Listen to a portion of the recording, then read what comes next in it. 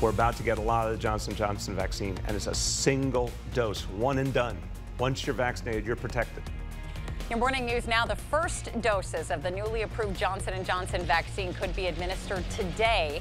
That means three COVID-19 vaccines are now being distributed across the U.S. So far, over 50 million Americans have already received at least one dose of the Moderna or Pfizer vaccine. However, the CDC is warning residents not to relax just yet as variant strains continue to spread. Governor Tony Evers is calling the Johnson & Johnson vaccine a game changer for Wisconsin. The state is expected to receive 47,000 doses next week of the newly approved vaccine. In Minnesota, more than 45,000 doses of the vaccine were shipped Sunday night and should arrive this week. Mayo Clinic Health System in La Crosse says it's averaging 750 COVID-19 vaccinations per day and things are running smoothly. Patients are in and out of the clinic within 15 to 30 minutes, and they haven't had to cancel any patient vaccine appointments. Gundersen Health System says demand continues to exceed vaccine supply, but expects to administer 3,000 doses this week. Gundersen has given more than 20,000 first doses and more than 10,000 second doses system-wide. Well, it was a cold start to the week and uh, the month of March yesterday with highs only in the 20s, but we're back into the 40s today thanks to south winds and some sunshine, and those winds will gradually increase throughout the week. We're going to be in the 50s by early next week.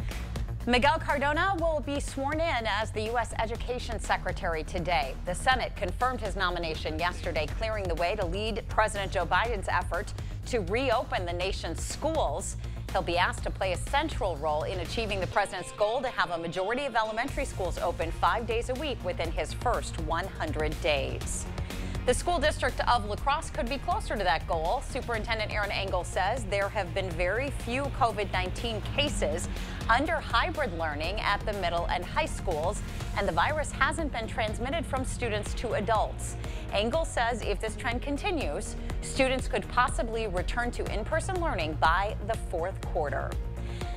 Students at La Crosse's Summit Elementary are being offered bottled water while the district waits on well test results. The city of La Crosse is testing some parts of French Island where the school is located for a dangerous compound called PFAS. The man-made chemical has been linked to infertility, thyroid disease, and cancer. Summit sits outside of the city's testing area, but so do other wells that have tested positive for PFAS which is why the superintendent says the district is not taking any chances. A new program is helping low to moderate income residents experiencing financial struggles because of the pandemic. Couleecap is operating the Wisconsin Emergency Rental Assistance Program. Eligible households can get direct financial assistance for rent, utility, and other home costs.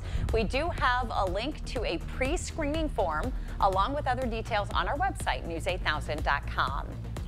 A local activist group is empowering La Crosse tenants to stand up for their rights to fair and affordable housing.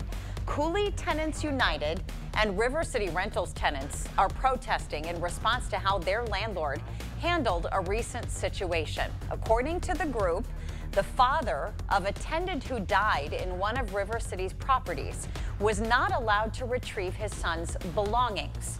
Activists say this is one example of indecency and disrespect some landlords have toward their tenants. One in three families struggle to afford diapers, and it can cost up to $100 a month per child. If you're a parent with young kids, you know how expensive diapers can be. That's why the Great Rivers United Way Emerging Leaders Group is teaming up with the Parenting Place to host a diaper drive.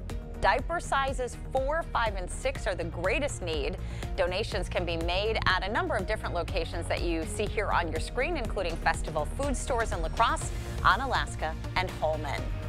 Well, it is a chilly start to this Tuesday morning. We've got temperatures in the teens and 20s, 19 degrees in La Crosse. You're coming in at 17 in Sparta, 18 in Eau Claire, and 21 degrees in Winona. But winds are picking up out of the south, so it feels even colder. Look at that wind chill, just fell to 5 in La Crosse. Feels like 1 below in Preston, feels like 7 in Eau Claire, and you've got that wind chill of 4 degrees in Viroqua and at Volk Field. Now, it might be a chilly start. You might need to add those extra layers this morning morning, but our temperatures are going to warm very nicely this afternoon. Those winds are going to continue to increase out of the south and southwest, gusting to 30 miles an hour, highs in the 40s.